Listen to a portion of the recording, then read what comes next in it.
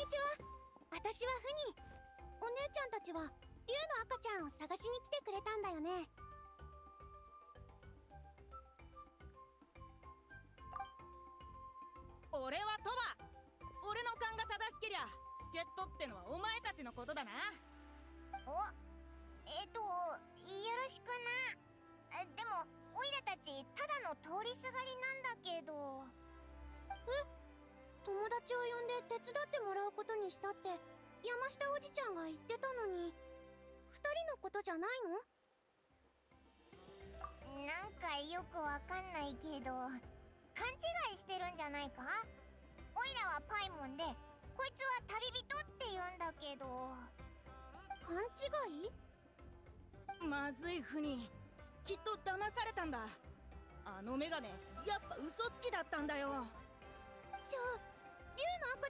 はどうすればいいの？もうあんまり時間がないのに。一旦落ち着いてくれ。竜の赤ちゃんがどうしたって言うんだ？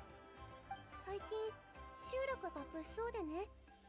パパの竜に不幸なことがあったんだ。その竜はナンナって名前で。赤ちゃんが3頭いるの。でもその出来事の後に赤ちゃんたちが怯えてどこかに行っちゃって。だから私たち心配で探しに来たんだ。お父さんの竜かお父さんは手伝ってくれないのか？パパは集落で長老のような役を任されてて開演の夜の準備をしてるの。その準備ってすっごく重要だし赤ちゃんよりも優先すべきことだからパパに内緒で出てきたんだけどすぐに見つけられると思ったのにさっきおじちゃんにあれこれ聞かれたせいでだいぶ時間を使っちゃったんだ。くっそあのメガネ。人の心ってもんがないのかよ。そうかっかすんなって。あんま手間のかかることじゃなさそうだし手伝ってやるぜ。オイラたちって親切心ってもんを大切にしてるからな。だろ？旅人。痕跡をいくつか見つけたからそうだと思う近くの崖の上に隠れてるはずだよ。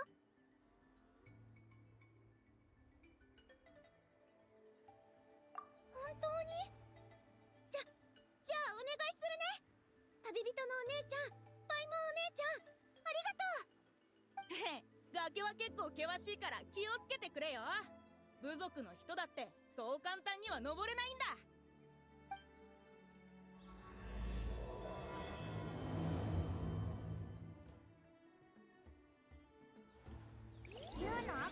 ちは崖の上にいるんだよな。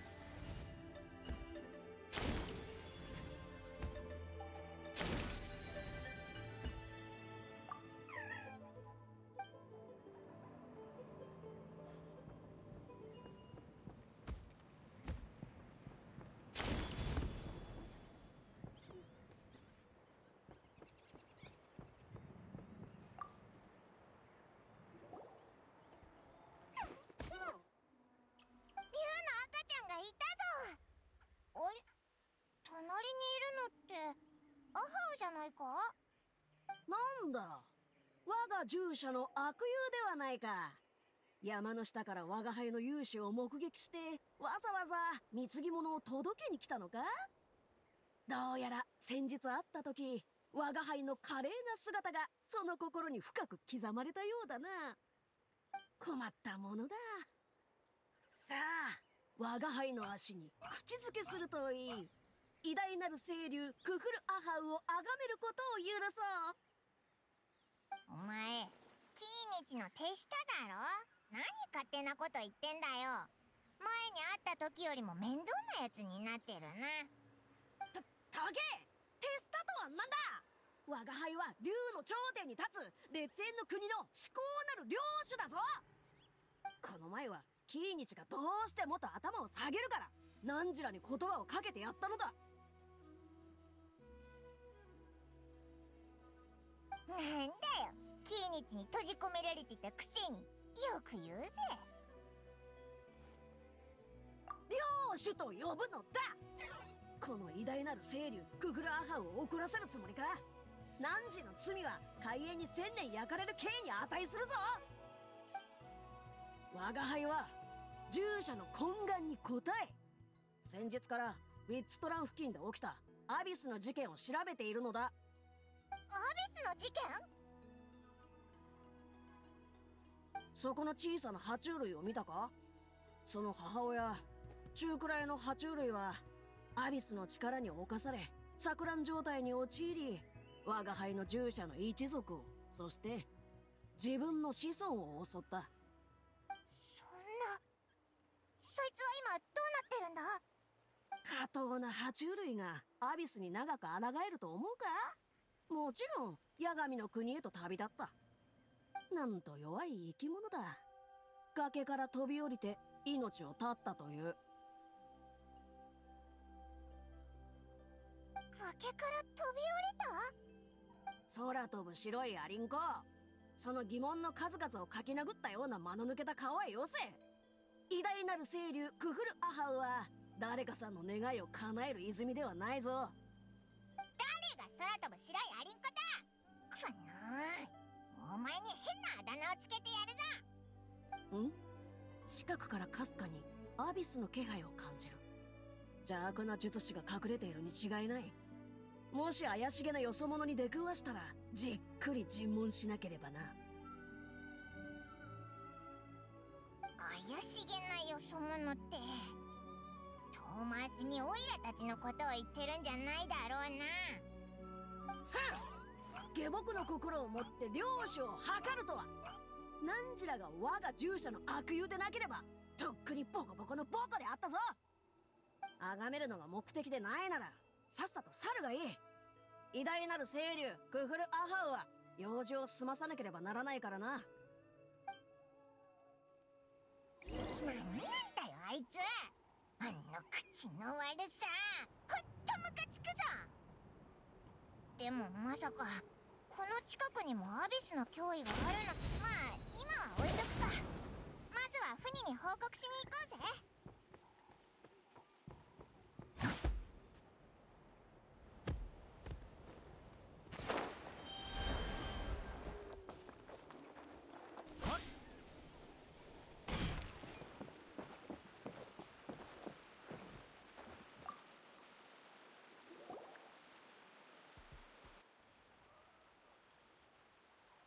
えこんなに早く戻ってくるなんてすごいな。赤ちゃんが無事でよかった。これで安心してお家に帰れる。お姉ちゃんたちありがとう。これくらい気にしなくていいぞ。大した手間じゃなかったからな。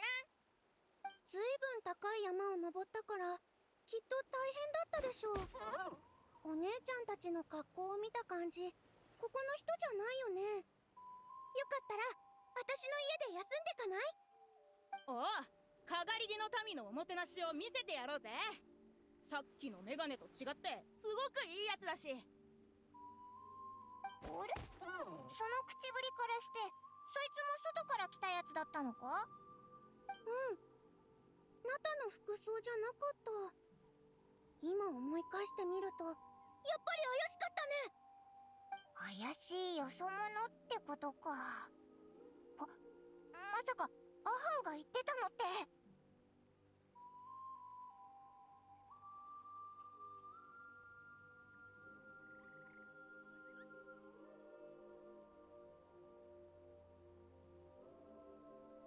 あのおじちゃんに興味があるの？もちろんいいよ。えっとね。おじちゃん。たくさん物語を教えたでしょ？いつになったら赤ちゃんを探しに行ってくれるの？もう一つ教えてくれ。今度はあの炎の話をしよう。巨大な透明の炎は500年1000年あるいは数えきれない年月の間ずっと燃え続けているとおじちゃんは聞いた。開園のことだな。5名のマリポはその伝説から生まれたんだぜ。おお孔明の起源なのか。すごいな。すべての古名には起源となる伝説があるんだよ。伝説によると開園はナタ大同盟の時代に現れたものなの。暴君オチカンがナタの統治とそれから反対するものを鎮圧するときに使ったんだって。開園は普通の炎と違ってね。火をつけられた人は背中に焼けるような痛みを感じるけどすぐには死なないんだ。でも絶対に振り返っちゃいけないんだよ。振り返ってはいけない？振り返ったらすぐ燃えて灰になっちゃうんだおお服や荷物だけならまだしも人間そのものを燃やすとはなんとも残忍だな。でしょ？背中を燃やした上に振り返っちゃいけないなんてひどすぎるよね。落ち感ってほんと暴君だよ。だがそういう伝説では誰かが立ち上がって反旗を翻すのがお決まりだろお分かってんじゃんメガネのおっちゃん。その通りだぜ。立ち上がったのは我らかがりぎの民の祖先ユパンキ様だった。うん。ユパンキ様は当時の軍事用品の管理官で暴君の落ち感と最初のエンジンシュバランケ様とは友人だったの。そんなユパンキ様は落ち感の残酷な統治をよく思ってなかったんだ。開園をこっそり盗んで暴君の軍隊に投げつけたの。その勢いは誰にも止められなくて兵士たちは全員燃えて灰になったんだって。こうしてご先祖様は人々を解放した。けど町から脱出するときに後ろから落ち感の声が聞こえたのか。ユパンキ様は振り返っちゃったの。そこにあったのは焼け焦げた町と力尽きた兵士。そして燃え盛る炎だけだった。次の瞬間彼の瞳に映ってた炎が急に飛び出してご先祖様を飲み込んでしまうの。振り返って一目見ただけなのに灰になるまで燃えちまうんだ。それは果たして炎を盗んだ代償なのかそれとも振り返ったからなのだろうか？さあな。けどユパンキ様の炎は他のよりずっと激しくて100日間燃え続けたらしいぜ。それは最終的に地脈に大きな穴を開けたんだとか。で炎はシュッと真っ暗な八神の国に落ちて今も燃え続けてるんだってさ。大人たちが言うにはその炎は往生の道を照らすものなんだって。それに死者はその炎を受け入れて焼かれないと正常な身で来世を迎えられないみたい。まるで一生を振り返って審問を受けるかのように。だからそれはユパンキの開園って呼ばれてるの。ほほう。なんと素敵な物語だ。それで八神の国でその炎を見られるのだろうか。の知らないよ。だってただの伝説でしょ？その古名を継承した人はいるんだよな。もちろん。例えば開園の夜で祀られた英雄ブルキナとかな。まあその人は500年も前の人だけどこの米を継いでるのはキイニチお兄ちゃんだよ。マリパのキイニチ。キーニチ。そろそろいいだろメガネのおっちゃん。もう物語をたくさん教えたし赤ちゃんを探してきてくれよ。ああでも開演の伝説では振り返っちゃいけないとあるだろだから過去の話を振り返るのはやめよう。そうだそのキーニチとかいう人のことを教えてくれ。そこが重要なんでな。ん？どうしたとば？今にも人を責めそうな目をして。いけないぞ。それは大人の特権なのだから。おじちゃん？嘘をついたら死んだ後海縁に焼かれちゃうんだからねそれはこの国の炎だ。よそ者には聞かないだろう。おじちゃんはここの人じゃないんでね。え？待った。うん？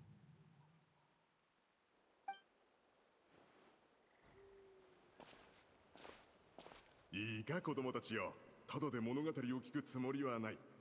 おじちゃんは二人の友達を呼んだんだ。うん。報酬はその二人が払おう。思いっきりこぎ使ってやってくれ。遠慮はいらないからな。本当か？そうだ。メガネのおっちゃんの名前は？うん山の下で出会ったのだからそうだな。おじちゃんの名前は山下だ。友達って本当なの？ああ信じられないなら振り返ってみてくれ。その二人はもう来ているぞ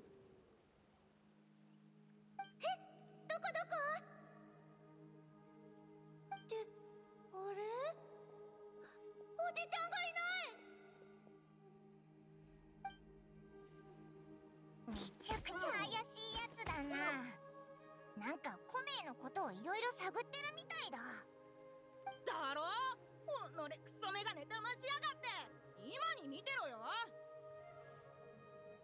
でもあのおじちゃんはただ物語を聞いてきただけだし危ない人じゃないんじゃない？うーん。旅人一応キーニチに知らせた方がいいんじゃないか？あのうざったいアハウが調べてるとはいえなんだか頼りない気がするし。あれ？二人もキイニチお兄ちゃんを知ってるの？別に親しいわけじゃないけど会ったことあるぜ。それに一緒にご飯を食べたこともあるぞ。いいな。あ俺キイニチお兄ちゃんと喋ったことないんだお兄ちゃんって部族の竜狩り人ですっげえ米を持ってるしとにかくかっこいいんだ。でも私のパパはそんな好きじゃないみたい。あんまり関わらないようにって言われてるんだ。きっとお兄ちゃんのそばにいるあのでかくて偉ぶってるやつのせいだよ。それってクフルアハウってやつだろ？あの態度ほんと腹立つよな。でしょ？キイニチお兄ちゃんがあいつを仲間にした理由がわからないよ。どうして私じゃダメなんだろう？やばい！ウニ外に出てもうだいぶ時間が経ってるぞ。そろそろ帰らないと怒られる。そうだね。じゃあお姉ちゃんたちこの道に沿って進めば私たちの集落に着くから。もし立ち寄るなら必ず家に遊びに来てね。あそれと困ったことがあったら助けるよ。パパに言っとくよ。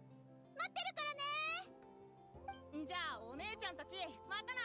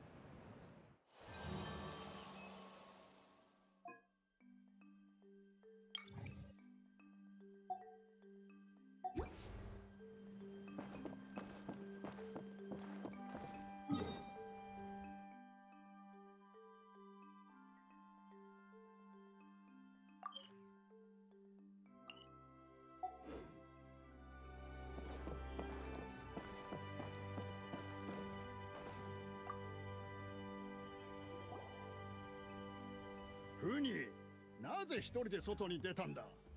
危ないだろトバもいたし通りすがりの優しい人も助けてくれたから。う優しい人？顔に優しいって書いてあったのか？いくつ書いてあったんだ？100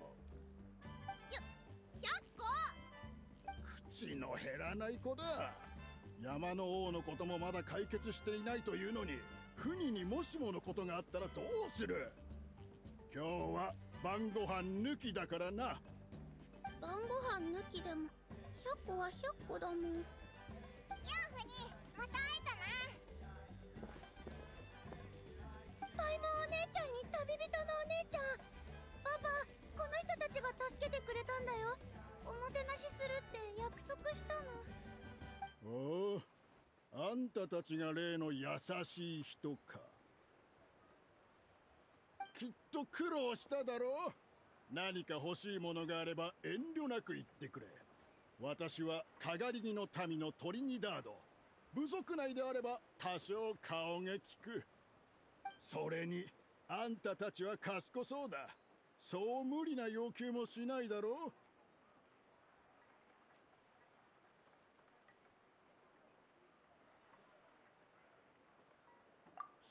うオイラたちは恩を着せようと思ったわけじゃないぞ。ああそうだといいんだが。パパこの人たちは悪い人じゃないよ。キイニチお兄ちゃんとも一緒にご飯を食べたことあるんだって。だからそんな態度はやめてよ。キーニチそういえば聖火競技場に謎の違法の旅人が二人現れたと聞いたがまさかそしてオイラのことだおお失礼なことを言って申し訳なかった。最近は部族のことで頭がいっぱいでな。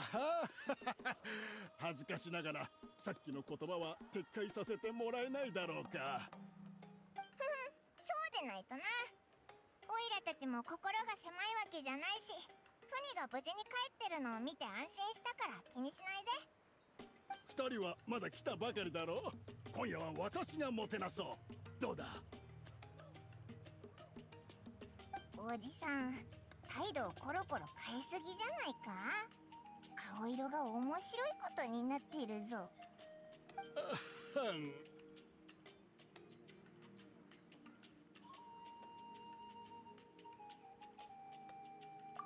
ああ凄腕の旅人よその輝く瞳の中には知恵の光が宿っているようだ。ふに先に中に入っていてくれ。パパは旅人たちと大事な話をしなければならない。わかった。ちゃんとパイモンお姉ちゃんと旅人のお姉ちゃんをおもてなししてね。オイラたちに頼みたいことがあるんだな。まあできるかどうかは保証しないけど これは一大事でね。まずは私の話を最後まで聞いてくれないだろうか。古来よりかがりぎの民には開園の夜という伝統的な儀式が存在する。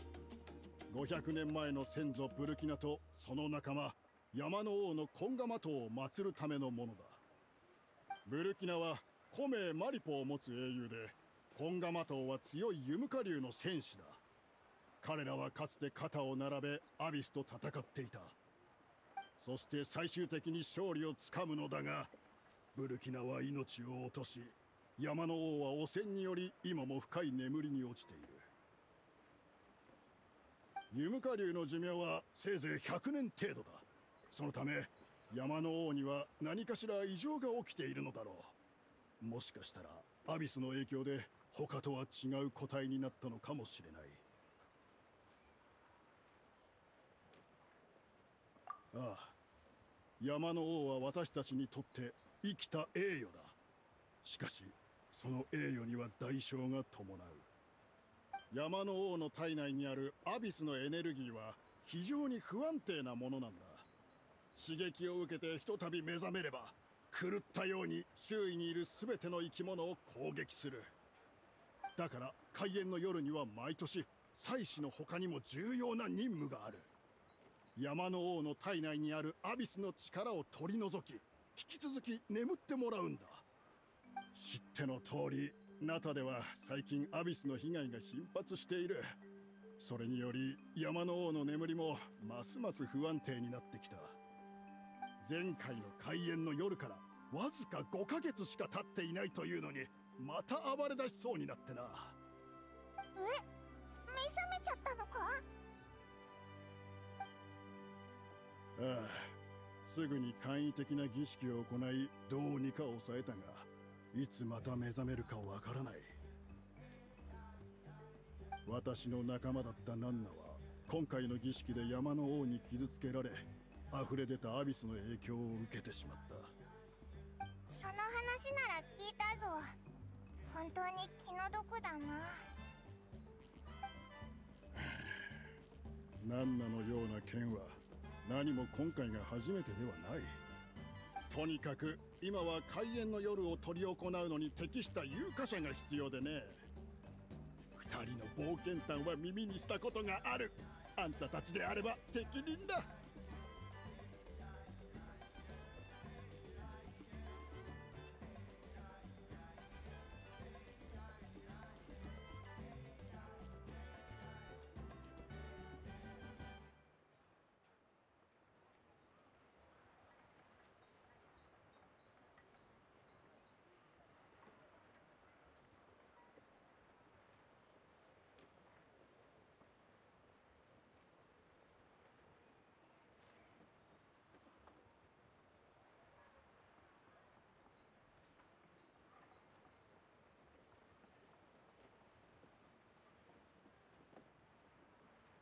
もちろん私たちにはマリポの名を継承した英雄がいる。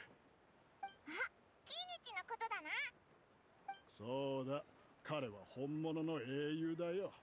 今頃モラを稼ぐためにきっと勤しんでるだろう。彼を見つけた時なんて言われたと思う?追加の儀式？なら追加料金だ。とさ。一体どんだけモラが大切なんだ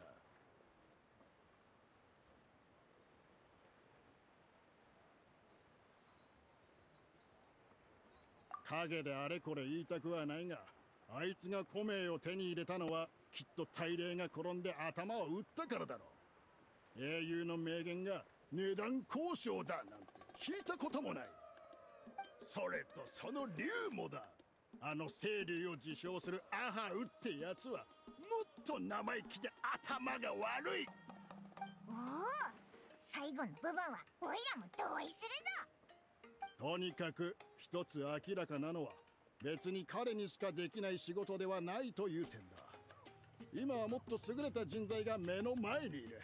ということでかがり木の民における名声と友好関係はモラで変えられるものではない。ああ感謝するよ。フニの言う通りだ。あんたたちの顔には優しいという言葉が100個も書いてある。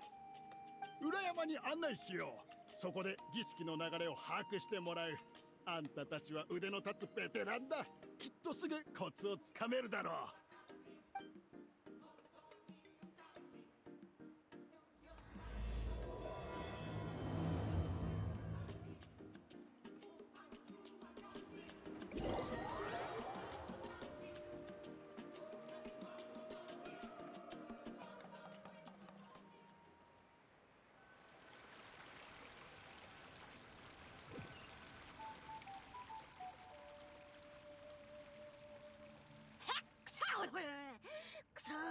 誰だ。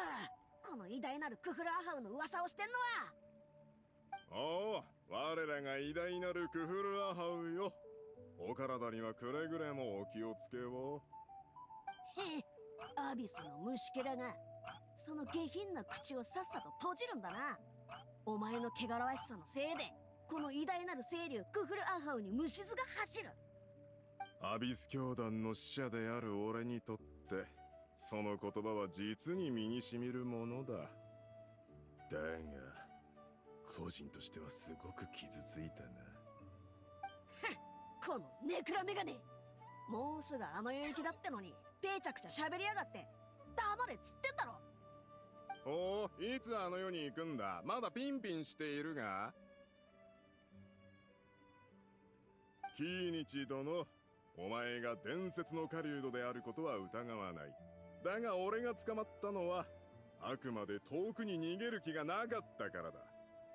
かがり木の民には興味があるんでな。ふんって。それだけか。アビスの来訪者がお前らに興味を持ってるんだぞ。その理由くらい知りたいだろ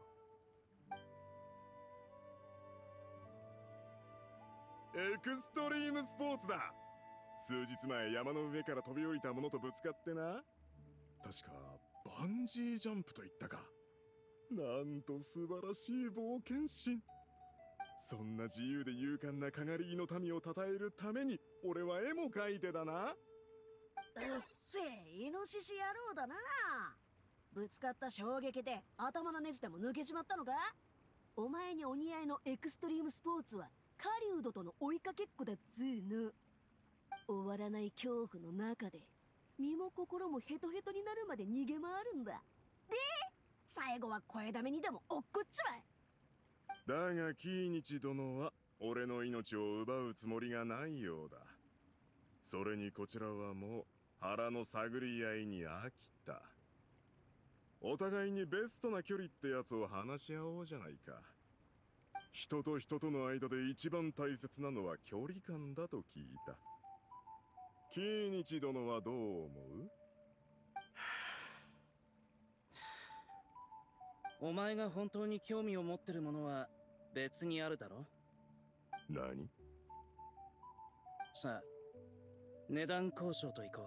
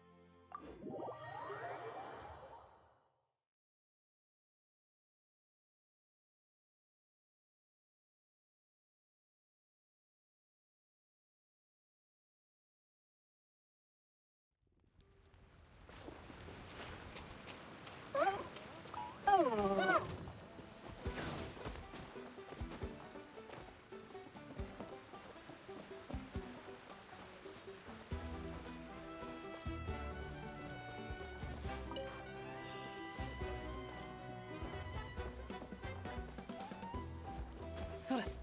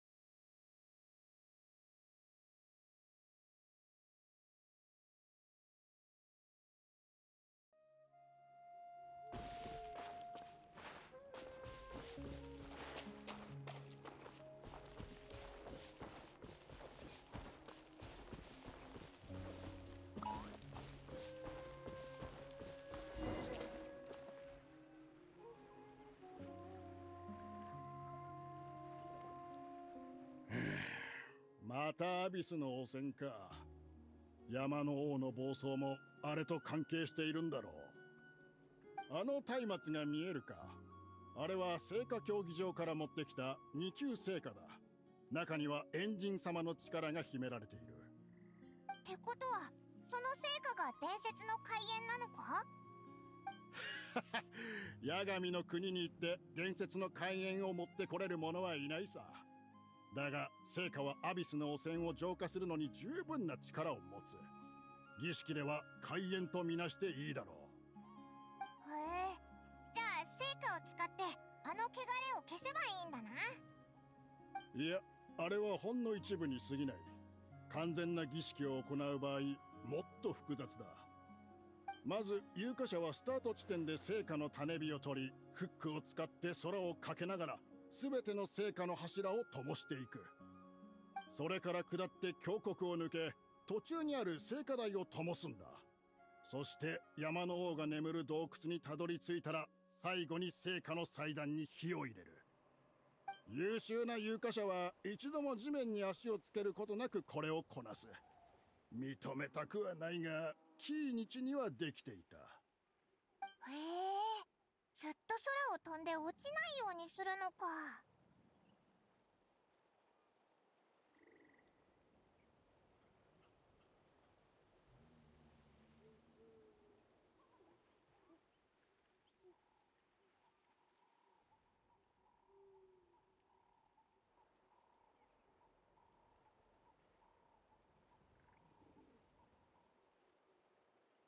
おいらが飛んだところでできっこないぞ。だってこれかなり難しそうじゃんか。安心してくれ。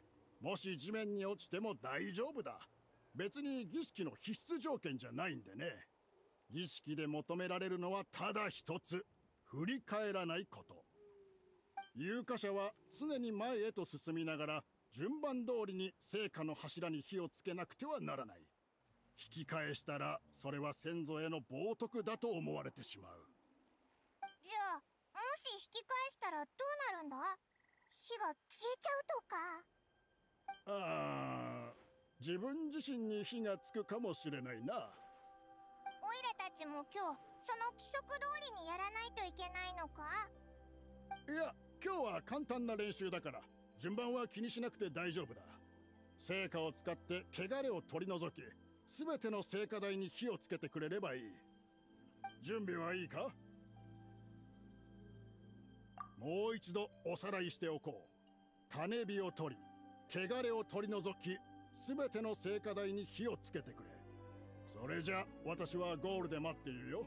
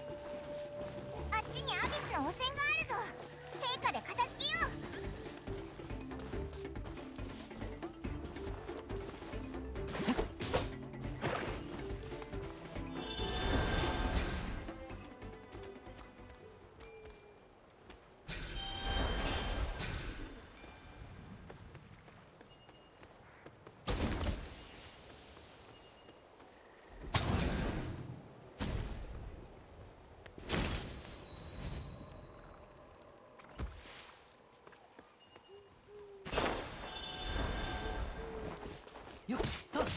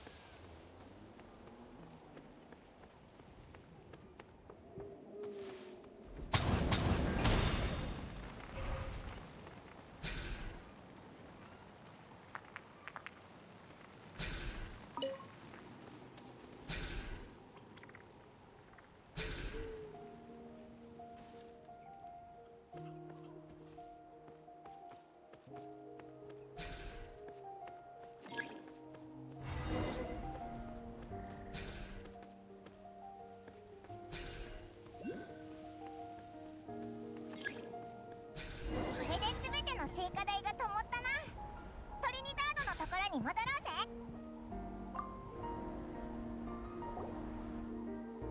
ぜ。やはり私の目に狂いはなかった。あんたはこれまでの候補者たちの中でもずば抜けてうまい。もし優香の神なんて古名が存在したらその有力候補になるだろ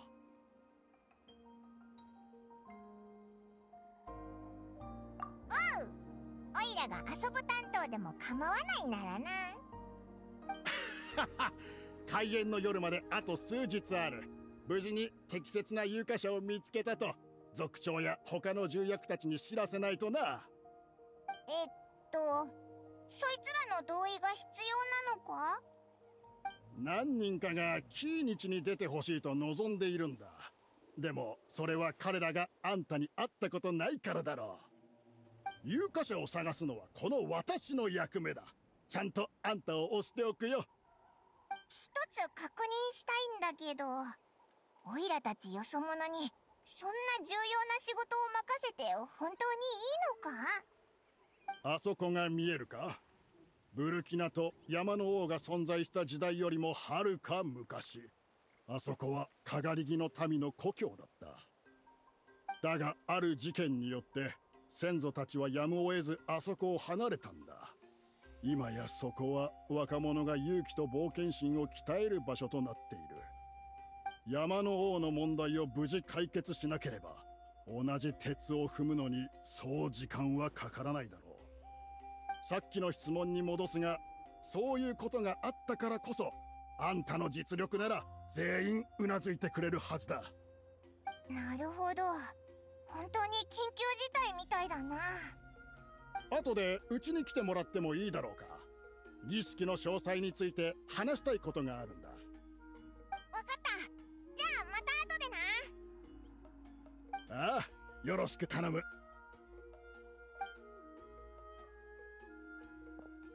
いろんな祭事に参加してきたけど今回の依頼はちょっと変わった感じだな一休みしてからトリニダードの家に行こうぜ。